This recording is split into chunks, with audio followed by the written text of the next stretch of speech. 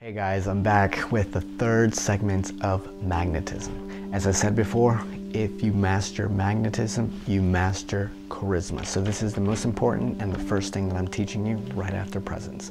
So of course, I still have my notes, just like an actor would.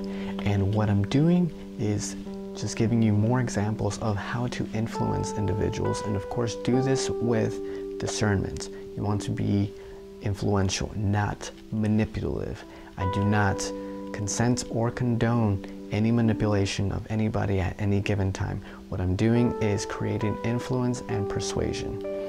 Now, what we're looking is helping others do what you want them to do.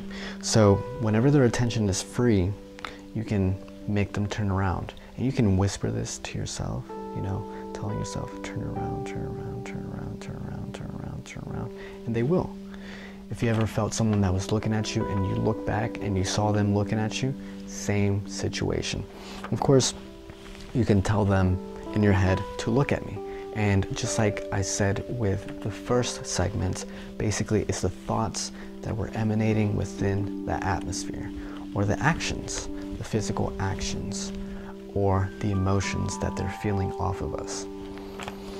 Look ahead as if nothing actually happened because we don't want to be caught. We just want to practice. We want to be able to practice our influence around people and our charisma. It's not charismatic if people know that you were trying. We have to make it as easy as possible as if we were in the Olympics and we were just having fun. They put so much time and effort throughout their whole entire lives to get to that one moment.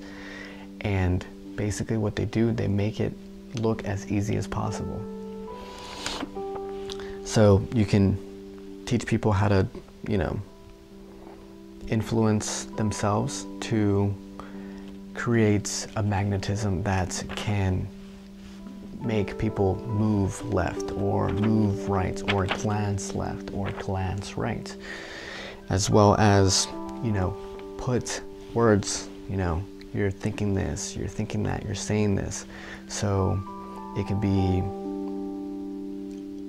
thirsty, thirsty, thirsty, thirsty, thirsty, thirsty, thirsty, thirsty. And eventually they'll think about, hmm, I'm kind of thirsty, kind of want some water.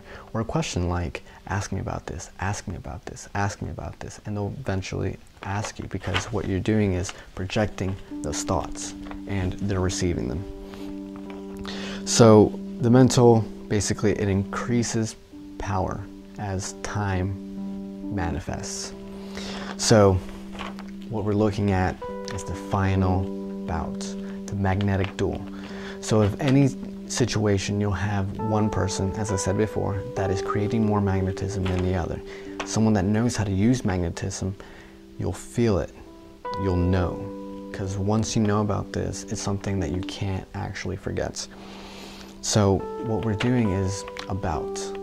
And of course, there'll be a situation where you might be in an interview or you might be talking to a competitor and they're trying to like strong arm you and you just won't give up. You know how to use your magnetism better.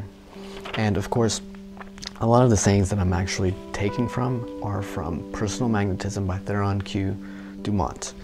And all credit goes to Mr. Dumont. And basically, what he is saying is affirmations that can teach you to repeatedly remember in a given situation. So when someone is trying to influence you, you will just think about this. And of course, your energy will emanate. My magnetism is stronger than yours. It is overpowering you. My magnetism is beating yours down. You are weakening. You are beginning to feel afraid of me. Retreat, retreat, retreat. I tell you, I am forcing you backward. I am scattering your forces. I am dissipating your energy. I am breaking your magnetism to bits. By the power of my own force, I am standing on a solid rock, and you are standing on sand. Your feet are slipping away from you. My magnetism is far stronger than yours. I know how to use it better. I am overpowering you. I am conquering you. I am bending you to my will. I am mastering you steadily and complete. I shall command you. to do as I will, surrender now at once.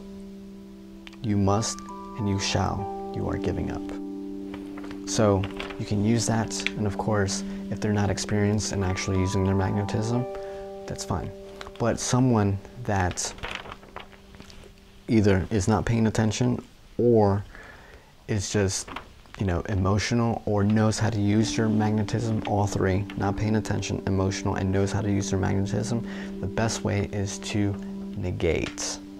So what i do sometimes when people are trying to influence me and i feel the emotion i say negate negate negate all right guys so hopefully you had a couple examples that you can use on a daily basis and practice in front of the mirror of course, like I said before, people have to be paying attention to you or not paying attention to what they're doing. Most oftentimes, like I said before, people are walking in a daze. So influence is possible. So again, if you liked my videos, feel free to subscribe. The class button is on the bottom left. And of course, Stay tuned for more episodes that I'm going to have about charisma and controlling your anxiety, as well as being a highly sensitive person. Alright guys, so I'm out and about what I just talked about.